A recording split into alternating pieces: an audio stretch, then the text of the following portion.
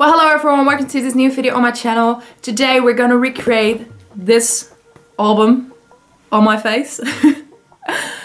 if you don't know this, um, I have this series where I'm going to um, try to recreate looks from artists or um, yeah, an artwork from an album uh, and I'm gonna recreate that in my own style on my own face so it's gonna be transformed into a makeup look and we're gonna do that with LM5 today and yeah, I'm really excited to do so. I really love the album and I think it's a great one.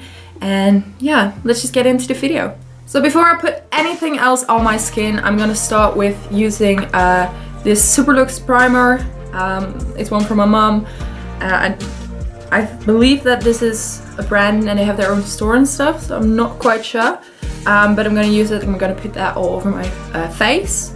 For foundation, I'm using this one from the Body Shop. Uh, it's the Matte Clay Skin Clarifying Foundation and it's in the color uh, 26 and I'm gonna put that on my face. I'm gonna use a beauty blender for that.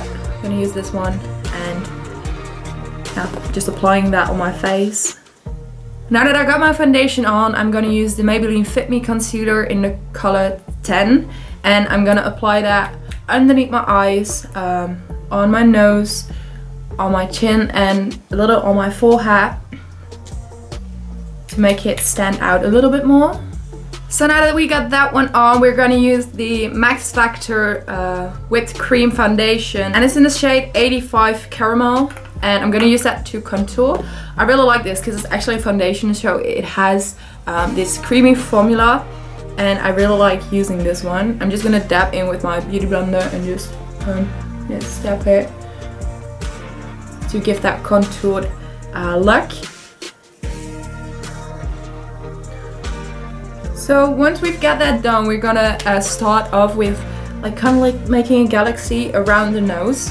Um, so to do that, I'm gonna use the Morphe 35B palette and um, you don't know which palette that is, it's um, this one with all the colors in it. Um, as you all know, uh, the Little Mix 5 album has like these kind of like blue, greenish colors and a lot of brown colors. So that are the colors that we're gonna uh, work with today. For the Galaxy thing, I'm firstly gonna use uh, this color, which is the color Ziggy, and I'm gonna apply that all around my nose. I'm just like using this dabbing technique, and first of all, it will look yeah very like light and um, minimalistic, but we're gonna build that up. So you have to um, put on a few layers for it to really, uh, yeah, to really pop. now what I'm gonna do, I'm gonna do the same thing uh, like around my nose with uh, the blue color, which is uh, this one, and that is called Sky. I'm just apply a little tiny bit of that because it's quite a pigmented color. And trying to blend that together. Once we have this on our face, we're gonna use uh, a NYX um, eyeliner. This this one, it's the white one, and we're gonna use that to create uh, like stars and just dots on my face to make it look, yeah, a little more like a galaxy.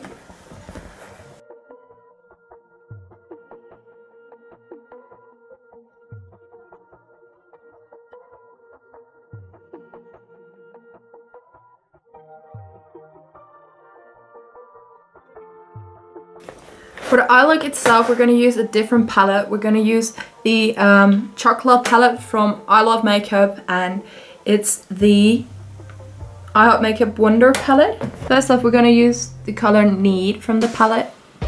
And I'm just trying to um, put that in my crease in like an outer V shape.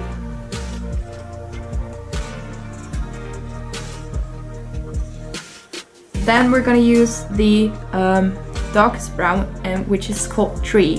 And we're gonna put that also everywhere but with another brush. We're really gonna make like a wing out of it.